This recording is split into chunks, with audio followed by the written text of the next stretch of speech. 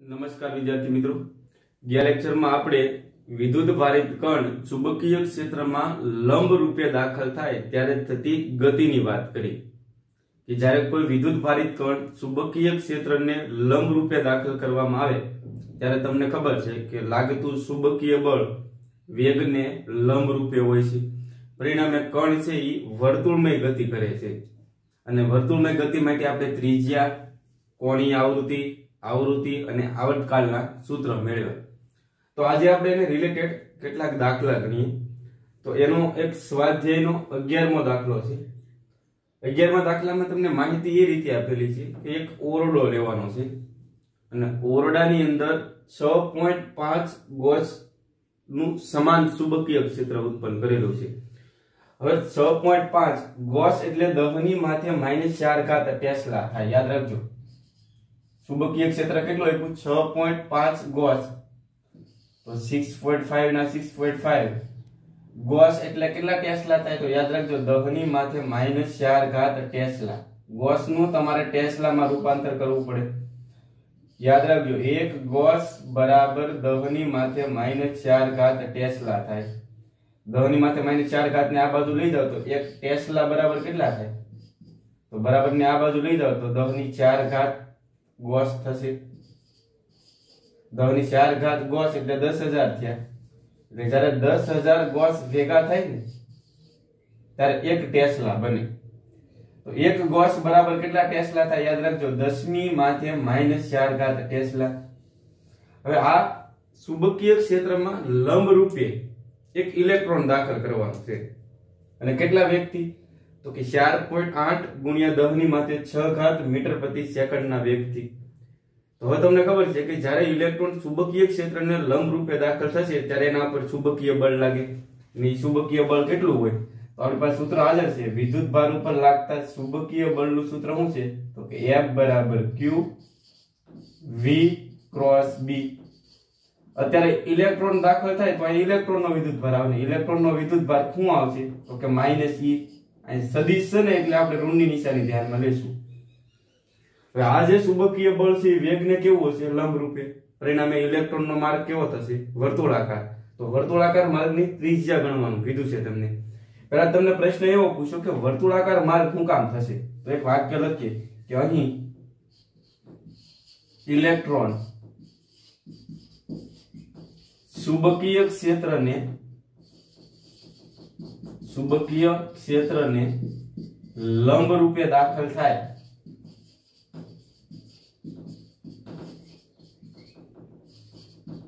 ત્યારે લાગતું ચુંબકીય બળ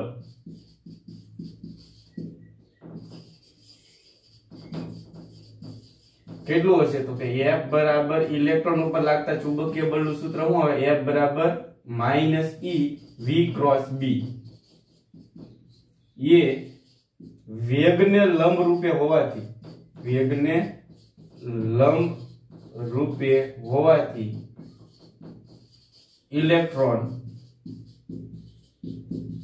વર્તુળમય ગતિ કરે છે.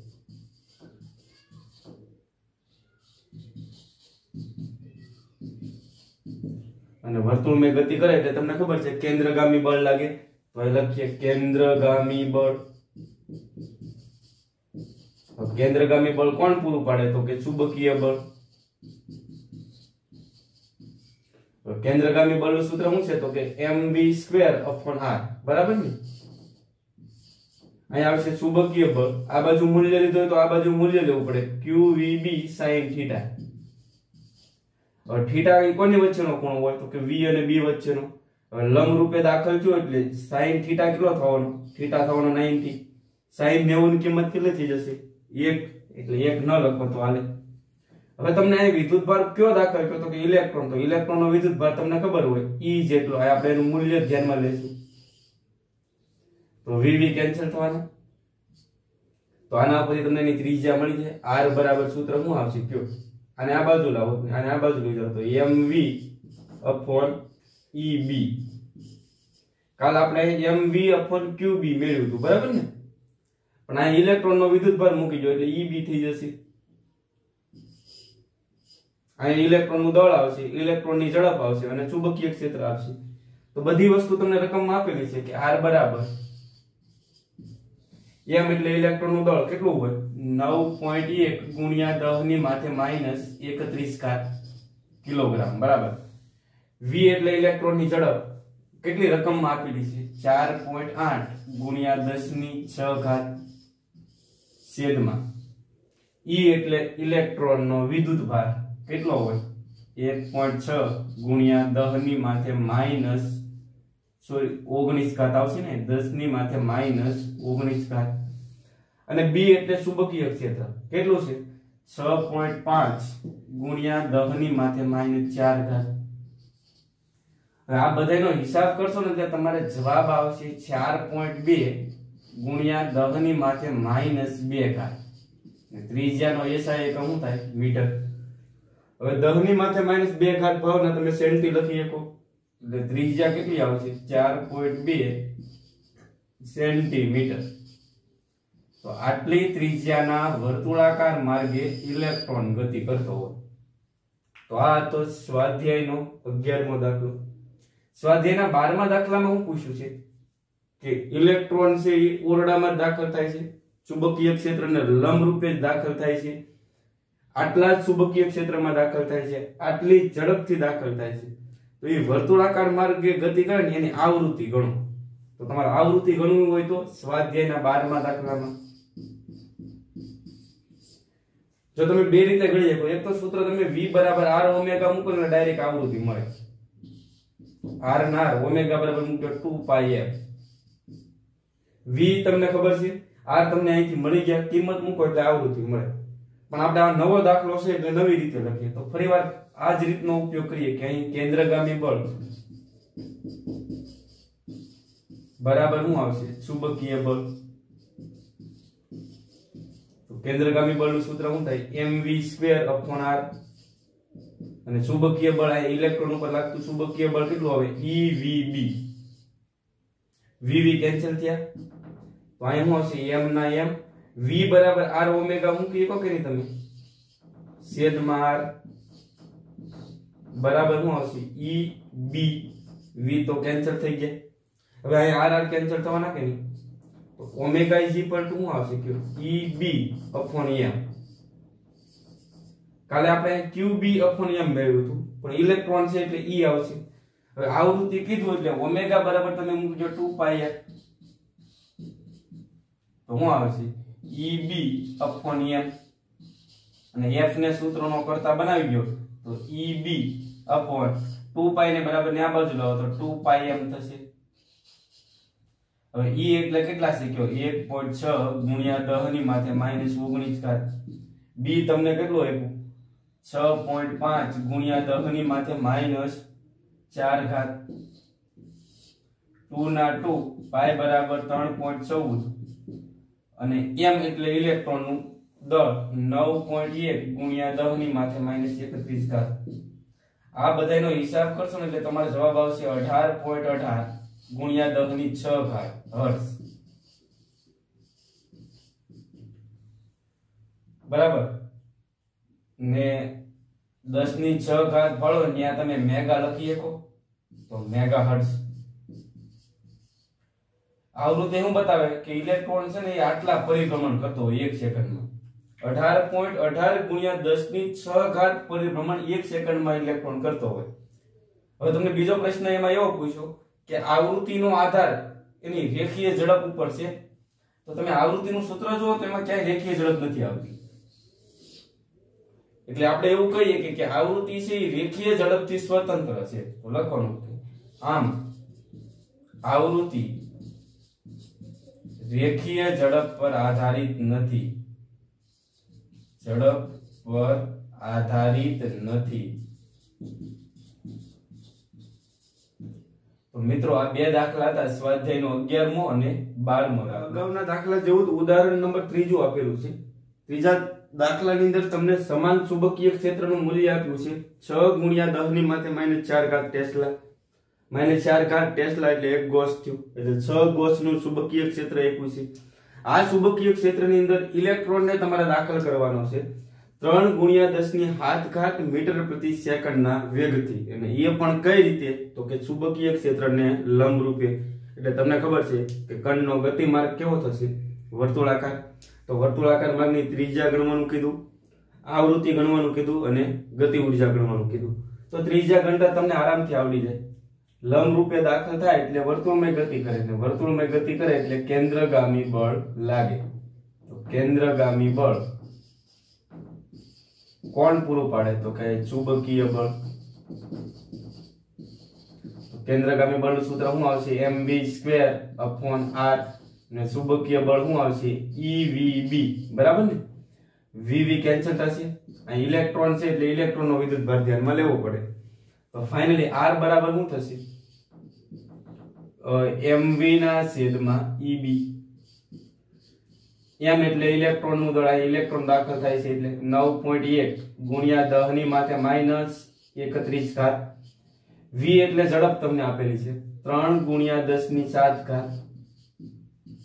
ઈ એટલે ઇલેક્ટ્રોન નો વિદ્યુત ભાર, એક પોઈન્ટ છ ગુણ્યા દહની માથે માઇનસ ઓગણીસ ઘાત. અને બી એટલે ચુંબકીય ક્ષેત્ર. છ ગુણ્યા દસની માથે માઇનસ ચાર થાય. આ બધાનો હિસાબ કરો એટલે ત્રિજ્યા તમારે આવશે આર બરાબર અઠ્યાવીસ પોઈન્ટ બાર. ગુણ્યા દહની માથે માઇનસ બે ઘાત મીટર. અને માઇનસ બે ઘાત હોય અને તમે સેન્ટી કહી શકો. તો ફાઇનલ જવાબ શું આવશે? અઠ્યાવીસ પોઈન્ટ બાર સેન્ટીમીટર.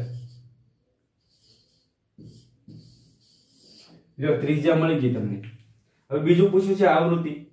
આવૃત્તિ તમે આ સૂત્રનો ઉપયોગ કરીને તમે ગણી શકો, બરાબર ને? અહીંયા તમે આર ઓમેગા મૂકો. બરાબર? વીવી કેન્સલ થાય પછી આર ઓમેગા મૂકો ઓમેગા બરાબર ટુ પાય મૂકો, એટલે તમને આવૃત્તિ મળી જશે.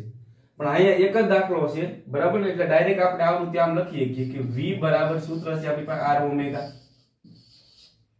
તો વી ના વી આર ના આર ઓમેગા ઇઝ ઇક્વલ તમે શું મૂકશો? 2 પાઈ f તો ફાઇનલી f ને સૂત્રનો કરતા બનાવી દેશો. તો f બરાબર શું થાય? V upon 2 pi r. v તો તમને રકમમાં આપ્યા છે. ત્રણ ગુણ્યા દસની હાથ ઘાત 2 ના ટુ પાય બરાબર મૂકજો ત્રણ પોઈન્ટ ચૌદ. અને આર એટલે ત્રીજા તમને મળી છે. બરાબર ને? અઠ્યાવીસ પોઈન્ટ બાર ગુણ્યા દહની માથે માઇનસ બે ઘાત. હવે આ બધાનો હિસાબ કરો એટલે આવૃત્તિ આવશે સત્તર પોઈન્ટ એક ગુણ્યા દહની ઘાત ડિજિટ ને એવું બધું ખસડશો એટલે જવાબ શું આવશે? સત્તર પોઈન્ટ એક ગુણ્યા દહની છ ઘાત હર્ષ અને દહની છ ઘાત ને શું કહેવાય? મેગા. બરાબર? એટલે ફાઇનલ આપણો જવાબ શું આવે? સત્તર પોઈન્ટ એક મેગા હર્ષ લ્યો. તો તમને આવૃત્તિ મળી ગઈ. પછી પૂછી છે ગતિ ઊર્જા. ઇલેક્ટ્રોન વર્તુળમાં ગતિ કરે એટલે એની પાસે ગતિ ઊર્જા હશે. તો લખીએ, ખાલી ઊર્જા કીધું એટલે તમારે સમજી જવાનું કે એની પાસે કઈ ઊર્જા હશે? ગતિ ઊર્જા. તો ગતિ ઉર્જાનું સૂત્ર તો આપણે બાળપણથી ભરી, ભણતા આવીએ છીએ, બરાબર ને? One by two M V square. તો વન બાય ટુ ના વન બાય ટુ, એમ એટલે ઇલેક્ટ્રોનનું દળ 9.1 ગુણ્યા દહની માથે માઇનસ 31 ઘાત. અને વી બરાબર તમને ઝડપ આપી છે. 3 ગુણ્યા 10 ની હાથ ઘાત. પાછો એનો વર્ગ કરી નાખવાનો. હવે વિદ્યાર્થી મિત્રો, ખાસ ધ્યાન અહીંયા રાખજો. આ જે તમને ગતિ ઊર્જા મળશે આનો હિસાબ કરશો ત્યારે. એ તમને જૂલમાં મળશે. દાખલામાં હું કીધું ઇલેક્ટ્રોન વોલ્ટમાં મેળવો. હવે ઇલેક્ટ્રોન વોલ્ટમાં ફેરવવા માટે તમારે શું કરવું પડે? અહીંયા ઇલેક્ટ્રોનના વિદ્યુત ભાર વડે ભાગી નાખવાનું. જૂલમાંથી ઇલેક્ટ્રોન વોલ્ટમાં ફેરવવા માટે શું કરશો? 1.6 ગુણ્યા 10 ની માટે માઇનસ 19 ઘાત વડે ભાગશો ને. એટલે આ જે ગતિ ઊર્જા હશે ઇલેક્ટ્રોન વોલ્ટમાં હશે. તો હવે આનો હિસાબ કરશો તો જવાબ આટલો આવશે. બે પોઈન્ટ પાંચ ગુણ્યા દસની ત્રણ ઘાત ઇલેક્ટ્રોન વોલ્ટ આડાવાળા ડિજિટ કશે નાખવાના, બરાબર? ને તમને કિલો ઇલેક્ટ્રોન વોલ્ટમાં પૂછવું ને દસની ત્રણ ઘાત લાવવું જરૂરી. એટલે તમે ગમે એમ કરીને ડિજિટ ખસેડીને અહીં દસની ત્રણ ઘાત લાવી દેજો. ને દસની ત્રણ ઘાત ને શું કહેવાય? કિલો. એટલે ફાઇનલ જવાબ શું આવશે? બે પોઈન્ટ પાંચ. કિલો ઇલેક્ટ્રોન વોલ્ટ જૂલમાંથી ઇલેક્ટ્રોન વોલ્ટમાં ફેરવતા આવડી જવું જોઈએ. આ એ જે શરૂઆતમાં ગતિ ઊર્જા મળશે એ જૂલમાં મળશે. અને 1.6 ગુણ્યા દહની માથે માઇનસ ઓગણીસ ઘાત વડે ભાગો એટલે આખી ગતિ ઊર્જા ઇલેક્ટ્રોન વોલ્ટમાં થઈ ગઈ. પણ કિલો ઇલેક્ટ્રોવોલ્ટમાં પૂછી એટલે તમારે ડિજિટ ગમે એમ કરીને ખસેડીને તેની ઘાત બતાવવી પડે. ત્રણ ઘાતને શું કહેવાય? કિલો. તો આ હતું ઉદાહરણ નંબર હવે તમને આવો પ્રશ્ન પૂછે કે જ્યારે વિદ્યુત ભારિત કણ ચુંબકીય ક્ષેત્ર સાથે ઠીઠા ખૂણે દાખલ થાય, ત્યારે તે કેવા પ્રકારની ગતિ કરે એની વાત કરવાની છે. એક વાત તો તમને ક્લિયર હોવી જોઈએ કે ચુંબકીય ક્ષેત્રને લંબ રૂપે દાખલ થાય તો એનો ગતિમાર્ગ કેવો હોય? વર્તુળાકાર. પણ હવે ઠીટા ખૂણે દાખલ થાય તો એની ગતિ કેવી હોય એની વાત કરવાની છે આપણે. તો એના માટે આપણે એક ચુંબકીય ક્ષેત્ર ધ્યાનમાં લઈએ. અત્યારે ચુંબકીય ક્ષેત્ર છે ને હું એક્સ દિશામાં બતાવું. બરાબર? આ એક્સ દિશા એટલે ચુંબકીય ક્ષેત્ર બી ની દિશા. બરાબર? આ ચુંબકીય ક્ષેત્ર કઈ દિશામાં છે? તો કે એક્સ દિશામાં. ગયા લેક્ચરમાં આપણે ચુંબકીય ક્ષેત્ર અંદર જતી દિશામાં લીધું હતું. અહીંયા આપણે એક્સ દિશામાં લઈએ. તો પહેલા વાત તો તમને એ કહી દઉં કે વિદ્યુત ભારિત કણ ચુંબકીય ક્ષેત્રની દિશામાં દાખલ થાય. જો આ રીતે આપણે ગા- દાખલ કરીએ. V જેટલા વેગથી તો અત્યારે વી અને બી વચ્ચેનો ખૂણો કેટલો થાય? તો તમને ખબર પડે છે, વી અને બી બંને એક જ દિશામાં છે, એટલે મને કહેશો આના પર ચુંબકીય બળ કેટલું લાગશે? એફ બરાબર સૂત્ર શું છે? Q V B sine theta અત્યારે વી અને બી વચ્ચેનો ખૂણો કેટલો છે? જીરો અને સાઈન જીરો ની કિંમત શું થાય? જીરો એટલે ચુંબકીય બળ કેટલું થઈ જાય શૂન્ય. ને ચુંબકીય બળ શૂન્ય થશે એટલે ખાસ ધ્યાન રાખજો. ફરી એકવાર કહો, આના ઉપર કોઈ ચુંબકીય બળ લાગવાનું નથી. અને ચુંબકીય બળ ન લાગે એટલે જે દિશામાં ગતિ કરતો એ દિશામાં ગતિ કરવા મળશે. તો અત્યારે v અને b વચ્ચેનો ખૂણો 0 છે એટલે ચુંબકીય બળ શૂન્ય છે અને પરિણામે આ જે વિદ્યુતભાર છે એ જે દિશામાં ગતિ કરતો ને એ દિશામાં ગતિ કરશે. એટલે આનો ગતિમાર્ગ સુરેખ હોય. અત્યારે v અને b વચ્ચેનો ખૂણો જો 0 હોય થીટા બરાબર જીરો હોય તો કણનો ગતિમાર્ગ કેવો હોય? સુરેખ હોય, યાદ રાખજો. તમે આ રીતે સમજી શકો કે આના આપણે લાગતું ચુંબકીય બળ ઘણું હોય F બરાબર સૂત્ર છે Q V ક્રોસ B. તો અત્યારે મને કહેશો, V કઈ દિશામાં છે? તો કે x દિશામાં એટલે I કેપ આવે. B કઈ દિશામાં છે? X દિશામાં એટલે I કેપ આવે. I ક્રોસ I એટલે જવાબ આવે 0 એટલે કોઈ ચુંબકીય બળ નહીં લાગે. એટલે જે દિશામાં ગતિ થતી હોય ને એ દિશામાં જવાનું. એટલે એનો ગતિમાર્ગ કેવો હોય? સૂર્ય. હવે થીટા બરાબર આપણે 90 ડિગ્રી લઈએ. તો આપણે ગયા વખતે વાત કરી કે અત્યારે થીટા બરાબર 90 એટલે ચુંબકીય ક્ષેત્રને લંબ રૂપે થયું. અને ચુંબકીય ક્ષેત્રને લંબ રૂપે હોય એટલે એના ઉપર ચુંબકીય બળ લાગે. અને ચુંબકીય બળ લાગે એટલે પરિણામે વર્તુળમય ગતિ કરશે. તો ગયા લેક્ચરમાં વાત કરીએ એમ, જો લંબ રૂપે દાખલ થાય તો એ કેવી ગતિ કરે? વર્તુળમય ગતિ કરે.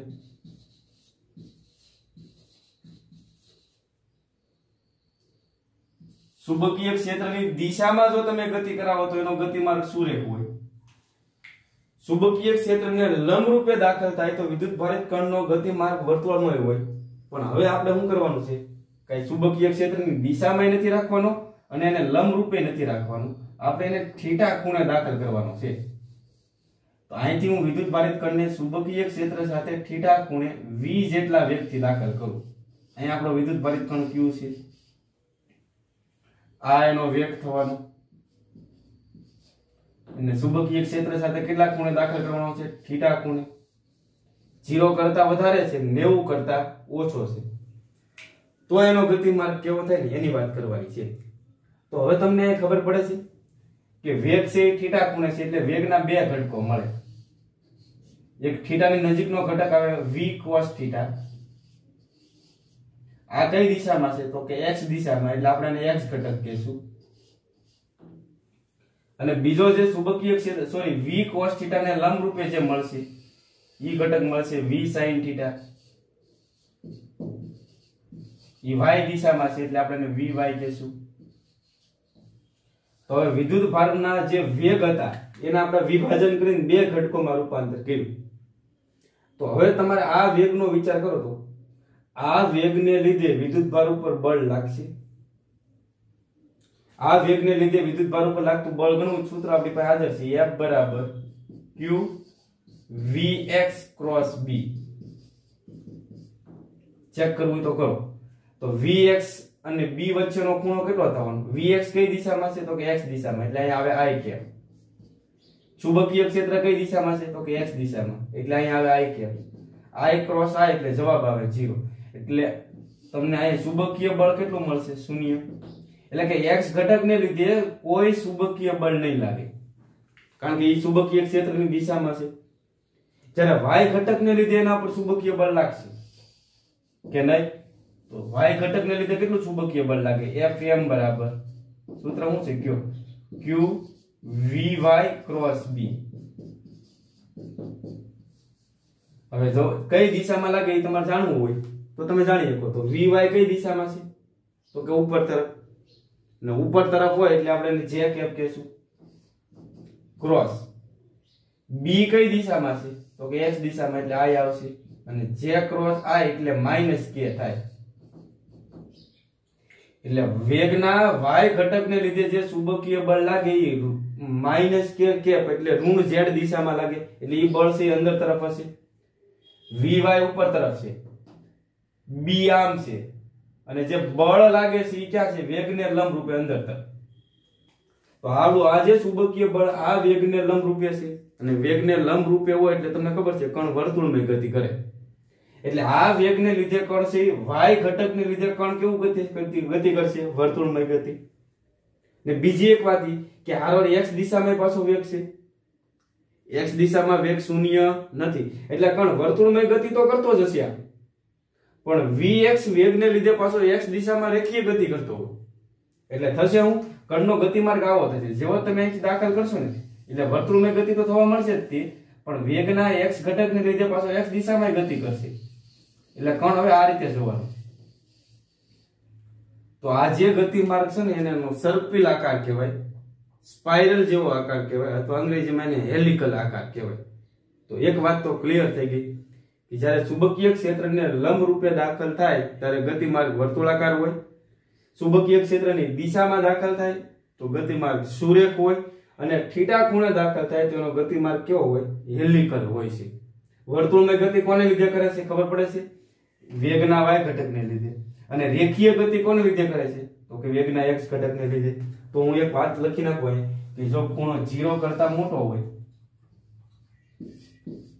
અને 90 ડિગ્રી કરતા ઓછો હોય, તો કણનો ગતિમાર્ગ કેવો થાય? હેલિકલ. આ ભૂલાવું જોઈએ નહીં. તો હવે આ જે વર્તુળાકાર માર્ગે ગતિ કરે, એની મારે ત્રિજ્યા ગણવી છે. આ હેલિકલ માર્ગની મારે ત્રિજ્યા ગણવી છે. તો આરામથી ગણી શકો તમે. તો અત્યારે તમારી પાસે સૂત્ર હાજર છે. Mv સ્ક્વેર અપોન વર્તુળ વર્તુળમય ગતિ ત્યારે જ કરતો હોય કે એના ઉપર કેન્દ્રગામી બળ લાગે. બરાબર ને? કેન્દ્રગામી બળ. કેન્દ્રગામી બળ પૂરું કોણ પાડે? તો કે ચુંબકીય બળ. કેન્દ્રગામી બળનું સૂત્ર શું છે? mv સ્ક્વેર અપોન આર અને ચુંબકીય બળનું સૂત્ર શું હશે q vb sin થીટા થોડી થીટા ની વાત પછી કરીએ આપણે. પણ મને કહેશો વર્તુળમય ગતિ કોને લીધે કરે છે? તો કે વેગના વાય ઘટકને લીધે વર્તુળમય ગતિ કરે છે. એટલે આ વેગનો કયો ઘટક આવશે? વાય ઘટક? એક્સ ઘટકમાં તો ચુંબકીય બળ શૂન્ય થઈ જાય છે, બરાબર? તો અહીં વેગનો કયો ઘટક આવશે? વાય ઘટક. તો અહીં જે ખૂણો આવવાનો છે કોની વચ્ચેનો ખૂણો છે vy અને b વચ્ચેનો હોય. તો vy ઉપર તરફ છે, b આમ છે, તો બંને વચ્ચેનો ખૂણો કેટલો થાય? sin 90 ને sin 90 ની કિંમત કેટલી થાય? 1 એટલે ન લખો તો હાલે. હવે vy vy કેન્સલ થવાના. તો finally r is equal to શું થશે? r ને આ બાજુ લઈ જાવ તો m, vy upon qb. તો m ના m, vy ભાવના તમે શું લખી શકો? v sin theta upon qb. તો જ્યારે વિદ્યુત ભારિત કણ? ચુંબકીય ક્ષેત્ર સાથે થીટા ખૂણે દાખલ થાય ત્યારે વર્તુળાકાર માર્ગની ત્રિજ્યા ગણવા માટેનું સૂત્ર આવ્યું હતું જો લંબ રૂપે દાખલ થાય તો થીટા બરાબર 90 મૂકી દો. સાઈન નેવું ની કિંમત વન. એટલે આપણે ગયા લેક્ચરનું સૂત્ર મળી ગયું પણ જો થીટા ખૂણે દાખલ થાય તો તમારે શું આવશે? Sine theta. તો વર્તુળાકાર માર્ગની ત્રિજ્યા ગણવાનું કહે તો તમારે આ રીતે ગણી એકવાર બીજી એક વાત કે અમારે હવે આવર્તકાળ ગણવું છે. આવર્તકાળ એટલે એક પરિભ્રમણ પૂર્ણ કરતા લાગતો સમય. તો વિદ્યુત ભારિત કણ સપોઝ અહીંથી ગતિ કરતો કરતો ગયો અને અહીંથી અહીંયા સુધી પહોંચે ત્યાં સુધીમાં એક પરિભ્રમણ પૂર્ણ કર્યું કહેવાય. તો ઈ સમય, ઈ એક પરિભ્રમણ પૂર્ણ કરતા લાગતો સમય ગણવો છે. જેને કહેવાય આવર્તકાળ પેલા મને કહેશો વર્તુળમય ગતિ કોને લીધે કરે છે? તો કે વેગના વાય ઘટકને લીધે. એટલે આપણે એક આવું વાક્ય લખીએ કે વેગ બરાબર અંતરના છેદમાં સમય. તો વર્તુળમય ગતિ કોને લીધે કરે છે? તો કે વેગના y ઘટકને લીધે. હવે એક પરિભ્રમણ પૂર્ણ કરશે અહીંથી અહીંયા સુધીમાં. આની ત્રીજા લીલી આપણે આ. ત્યાં સુધીમાં અંતર કેટલું કાપે? તો કે એના પરિઘ જેટલું, એટલે કે ટુ પાય આર જેટલું. અને સમય કેટલો લે? તો કે આવર્તકાળ t જેટલો. vy બરાબર શું આવશે? 2 પાય r upon t તો આના પરથી t ને સૂત્રનો કરતા બનાવો તો. તો t બરાબર શું થાય? 2 પાય r upon vy તો 2 પાય r ના 2 પાય r vy ફાળોના તમે શું લખશો? v sin θ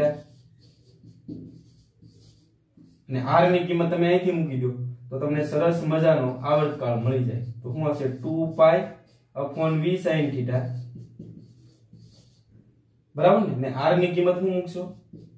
mv sin θ upon qb sin θ sin θ cancel થશે. Vv કેન્સલ થશે. એટલે ફાઇનલી આવર્તકાળનું સૂત્ર શું આવ્યું હતું? 2 પાય m upon 2 પાઈ m upon શું આવશે? Qb આ જ આવર્તકાળ આપણને લંબ રૂપે દાખલ થાય ને ત્યારે મળ્યો હતો. તો આવર્તકાળને થીટા કાંઈ લેવા દેવા છે? ખૂણા હારે લંબ રૂપે દાખલ થાય તોય આ આવર્તકાળ મળે છે. અને ઠીડા ખૂણે દાખલ થાય તોય આ જ આવર્તકાળ મળે છે. એટલે આવર્તકાળને ખૂણા એટલે કાંઈ લેવા દેવા નથી. આવર્તકાળ મળે એટલે આવૃત્તિ મળી જાય તમને. તો વન અપોન ટી એટલે એફ થયા. વન અપોન ટી એટલે એફ થાય કે નહીં? તો આને ઉલટાવી નાખો. તો શું આવશે? Qb upon 2 pi m. તો તમને આવૃત્તિ મળી ગઈ. થીટા ખૂણે દાખલ થાય ત્યારે. આ જ આવૃત્તિ આપણને લંબ રૂપે દાખલ થાય ત્યારે મળી હતી. અને 2 પાઈ ને બરાબરની આ બાજુ લાવો એટલે 2 પાઈ એમ થવાના 2 પાઈ f થવાના. બરાબર ને? તો શું રહેશે qb અપોન m અને 2 પાઈ f એટલે થયા ઓમેગા. આ સૂત્ર બધા યાદ રાખજો એમસીક્યુ સોલ્વ કરવામાં કામ આવશે. તો પહેલા ગયા લેક્ચર માટે પહેલા ઓમેગા મેળવ્યું હતું, પછી એફ મેળવ્યું હતું, પછી ટી મેળવ્યું હતું. આમાં શું કર્યું? પેલા આપણે ટી મેળવ્યું, એના ઉપરથી એફ મેળવ્યું એના ઉપરથી ઓમેગા મેળવ્યું. તો ટી એફ અને ઓમેગા ના સૂત્ર આપણે 90 ડિગ્રીએ દાખલ થાય ને એના જેવા જ છે. એટલે એમાં કાંઈ ફેર પડતો નથી. ફેર ખાલી ત્રીજામાં પડે. ત્રીજાને ખૂણા એરે લેવા દેવા છે ખાસ ધ્યાન રાખજો. આમાં એક બીજી એક વસ્તુ આ છે કે જ્યારે વિદ્યુત ભારિત કણ અહીંથી સપોઝ નીકળ્યો હવે એક પરિભ્રમણ પૂર્ણ કરે ત્યારે ક્યાં હશે? તો ગતિ કરતો કરતો એક ભ્રમણ દરમિયાન વિદ્યુત ભારિત કણ છે, અહીંયા પહોંચી ગયો છે અહીંથી અહીં સુધી પહોંચવા માટે જે સમય લીધો હોય કોના જેટલો હોય? તો કે આવર્તકાલ ટી જેટલો. બરાબર? t સમયમાં એ x દિશામાં આટલું અંતર કાપે. કયા વેગથી તો કે વી કોસ થીટા વેગથી અને એક્સ દિશામાં જે આ અંતર કાપે ને એને પેચ કહેવાય, અથવા પીચ અંતર કહેવાય. શું કહેવામાં આવે છે? X દિશામાં ગતિ કરતો કરતો આ જે અંતર કાપે, એક ભ્રમણ દરમિયાન, એને શું કહેવામાં આવે છે? પીચ કહેવામાં આવે. તો વધારાનું આ અંતર ગણવાનું કે? તો આપણી પાસે સૂત્ર છે વેગ બરાબર અંતરના છેદમાં સમય. અંતરના છેદમાં સમય. તો અંતર ઇઝ ઇક્વલ ટુ થાય? વેગ ગુણ્યા સમય થાય. અંતર બરાબર વેગ ગુણ્યા સમય. આપણે x દિશામાં કાપેલું અંતર ઘણું છે. x દિશામાં આ જે અંતર કાપે ને એને આપણે પીચ કહેશું અથવા પેચ કહેશું. અને p વડે બતાવશું. તો આ અંતરને હું કીધું p. હવે x દિશામાં ગતિ કરે તો વેગ છે તમારે x દિશામાં ધ્યાનમાં લેવો પડે. તો કેટલા વેગથી ગતિ કરે? તો કે v cos θ જેટલા. અને પેચ એટલે શું તો કે એક ભ્રમણ દરમિયાન કાપેલું x દિશામાં અંતર. તો અહીંથી અહીં સુધીમાં સમય કેટલો લીધો હોય? એક ભ્રમણ દરમિયાન. આવર્તકાળ t જેટલો એટલે. હું અહીં સમય મૂકી દઉં આવર્તકાળ t. તો p ના p, v cos θ ના v cos θ અને t ભાળવાનો તમે શું લખશો? આવર્તકાળની કિંમત તમે મૂકી દો અહીંથી. તો શું હશે? 2 pi m upon qb. તો હવે કઈ ઉડતું હોય તો ઉડાડી દો. ન ઉડે તો રહેવા દો તો આમાંથી લગભગ કાંઈ ઉડતું નથી તો ફાઇનલી શું આવશે 2 pi m upon 2 pi r upon 2 તો હવે કઈ ઉડતું હોય તો ઉડાડી દો ન ઉડે તો રહેવા દો. તો આમાંથી લગભગ કાંઈ ઉડતું નથી. તો ફાઇનલી શું આવશે? 2 pi m upon 2 pi r upon 2 તો two pi M V cos theta છેદમાં ક્યુ બી તો આ પેચ અંતર ગણવા માટેનું સૂત્ર છે. યાદ રાખજો. જ્યારે થીટા ખૂણે દાખલ થાય ત્યારે.